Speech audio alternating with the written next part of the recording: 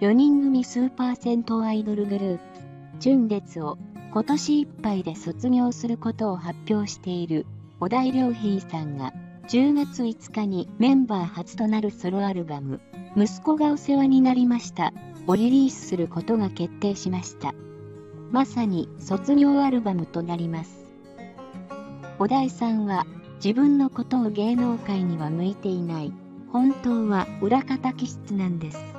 と語っておりファンからはメンバーの中で最も不安定な歌唱力と言われるコーラス担当でもあります。そんな小田井さんがリードボーカルの白川裕次郎さんも叶えていないソロアルバム発売するのですから卒業に寂しさを感じているファンへのビッグプレゼントになることには間違いありません。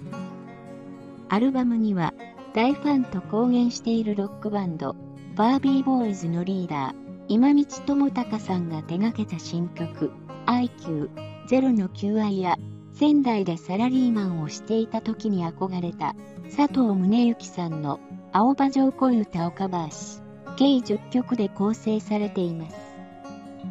小田井良平ソロアルバム、息子がお世話になりました収録曲は次の通りです。IQ0 の求愛。無憂。青葉城恋歌。